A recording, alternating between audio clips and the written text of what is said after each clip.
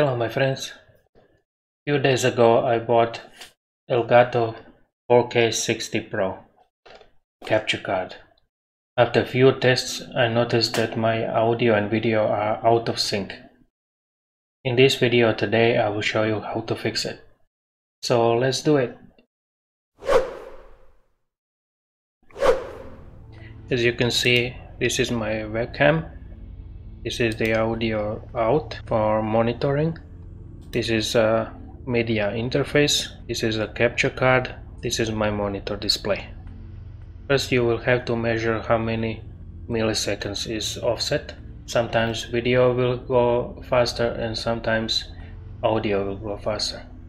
And in this case my video is slower so I need to slow down my audio. Click on this gear advanced audio properties and change the audio offset. This sync offset in my case is 220 and now I will show you the, example. And when I change it my video will be slower. I change back to 220 in this in other case when uh, audio is uh, slower then uh, you will need to go in your video click on filters and change the video delay. Adjust the milliseconds how many milliseconds. And this is basically it. Thank you for watching and see you in another video